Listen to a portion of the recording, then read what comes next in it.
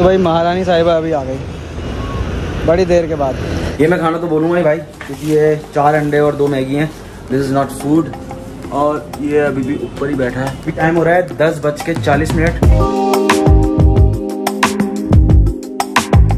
Hello guys welcome to the new vlog और ये vlog हो रहा है रात को। अभी टाइम हो रहा है 11:34 भाई ये देख लो 11:34 हो रहा है। रात से व्लॉग क्यों स्टार्ट कर रहा हूँ, आपको एक बार दिखा दूँ। क्योंकि यहाँ पे ना कुछ ज़्यादा ही मज़ा आ रहा है। भाई वो पार्टी हो रही है।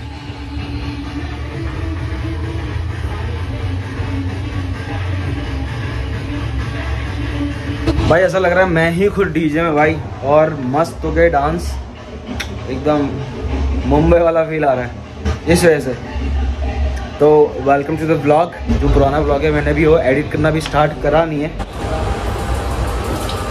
करते हैं बंद। अब मेरे को ना एडिटिंग एडिटिंग अपनी ख़त्म करनी है। मैं अभी एडिटिंग ख़त्म करके फिर सोता हूँ। मॉर्निंग नौ बजे में दस मिनट बचे हुए हैं। फिर यहाँ पे सब लोग बैठे हुए हैं, खाना खा रहे हैं। मैं भी अपनी चाय पी रहा हूँ। सामने का मौसम देखो भाई, सब लोग मैच खेल रहे हैं। ये क्या बनाया है तुम लोगों ने? उपमा खा रहे हैं लोग। चाय पी के मैं भी नहीं निकलता हूँ।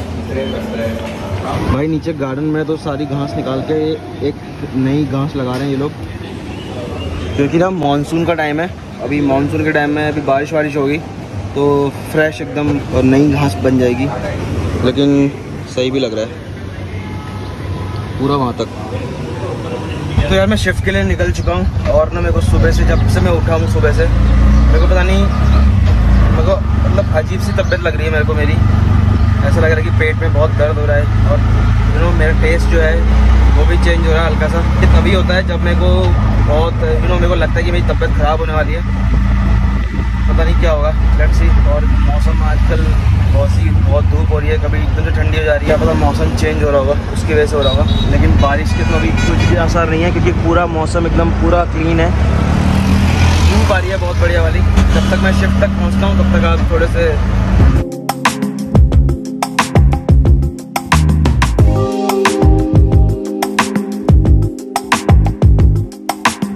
एक और चीज़ थी, जो रिमोट कल जो मैं बता, आपको बता रहा था, वो रिमोट का मेरे को आज सॉर्टेड आउट करना है। अगर वो रिमोट आज नहीं मिला, मैं एक बार फिर से ढूँढने की कोशिश करूँगा, अगर वो रिमोट नहीं मिला तो I directly contact with the vendor और उससे बोलूँगा भाई, मेरे को नया रिमोट चाहिए, इसी ब्लाइंड का। मेरे को बता दे, पैसे कितने हो रखे हैं आई पे और मेरे को रिमोट दे दे। मतलब काम हो जाना चाहिए, चाहे वो मैं कैसे भी करूँ, अपनी जेब से करूँ या दूसरे की जेब से, लेकिन काम हो जाएगा। वो सीन है। लेकिन मेरे को फिर यार खो गया, अब पता नहीं मैंने लिया या किसी और ने लिया, जो अब कोई बोल नहीं रहा है फिर मेरे को मेरे को भी याद नहीं आ रहा है, क्योंकि जहाँ तक मेरे को याद है कि मैंने वो वहीं पे रखा था। क्या पता दूसरे को भी याद ना आ रहा हो। तो इसमें मैं वेट तो कर नहीं सकता एक मिनट मैं वेट तो कर नहीं सकता कि भैया कोई आया मेरे को आके बोलेगा, ये लो भैया रिमोट ये मैंने लिया था। तो मैं इतना वेट नहीं करने वाला। तो मैं उस वेंडर से बात करने वाला हूँ। जिसने वो ब्लाइंड मतलब जिससे वो ब्लाइंड इंस्टॉल की हुई है तो उससे डायरेक्टली बात करके उससे मैं सीधे रिमोट ले लूँगा।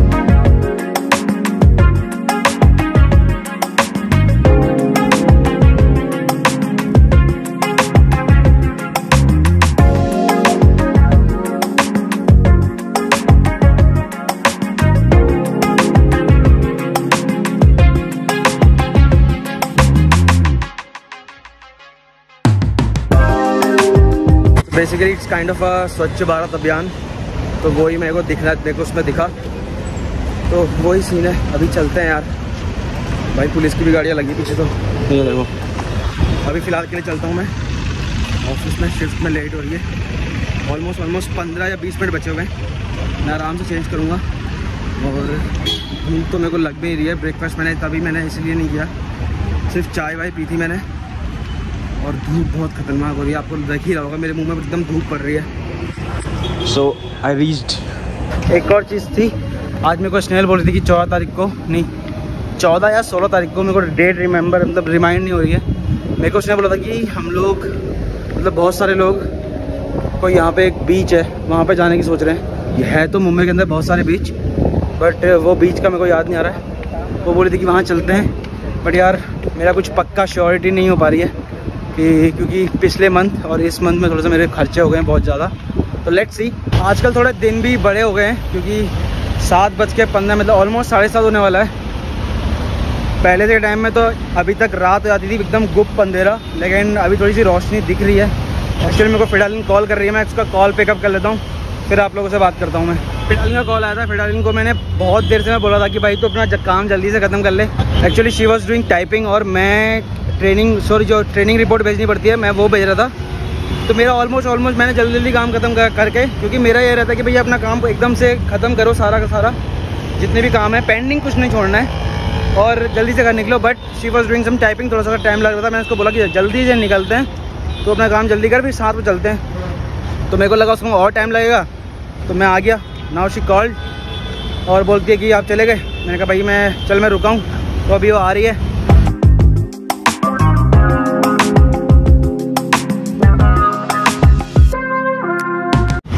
तो भाई महारानी साहिबा अभी आ गई बड़ी देर के बाद। इतना टाइम कहाँ लगाया तूने? अब ऑटो ढूंढते हैं, अब निकलते हैं भाई। पता दो तीन ऑटो चले गए खाली। चलो।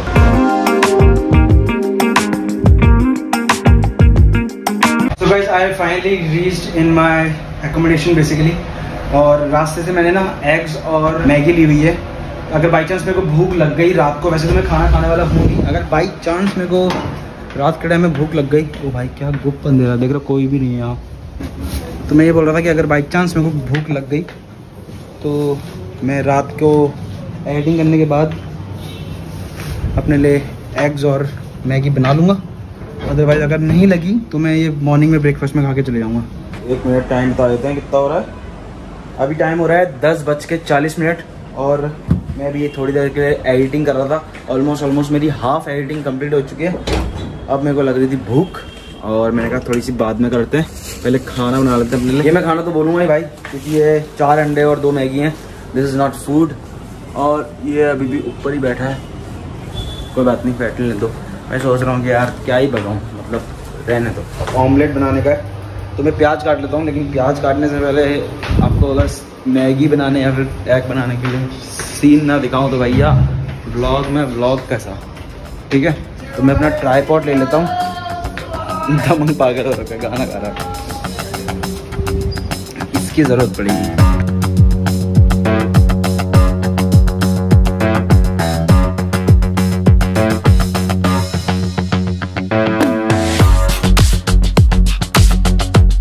तो भाई हमने प्याज व्याज तो छिल दिए हैं। अब इस पबजी के पैन से हम लोग बनाएँगे अंडा। हम लोग पहले ज़रा अंडे तोड़ लेते हैं, उसके बाद हम लोग प्याज को मिक्स करेंगे, फिर थोड़ा सा मिर्च मिक्स करेंगे।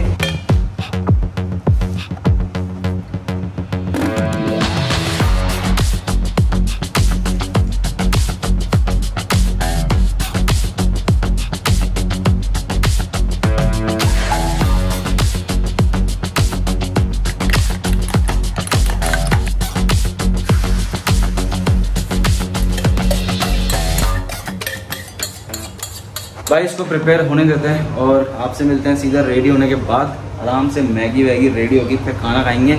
उसके बाद ब्लॉग एंड करेंगे फिर हम एडिटिंग करेंगे और आप नया ब्लॉग देखेंगे हमारा ठीक है? मैं बहुत छोटा नींबू डाल रहा हूँ ताकि ज़्यादा भी टेस्ट में डिफरेंस ना आए। इसको मैं मिक्स कर लेता हूँ ताकि जितना भी मैंने लेमन डाला हुआ है वो थोड़ा सा मिक्स हो जाए ठीक है? साथ में एग भी है तो अंडा मैगी हो गई है ठीक है? पहले इसको मिक्स कर लेते हैं। अब देखते हैं कि भैया इसका टेस्ट कैसा आ रहा है।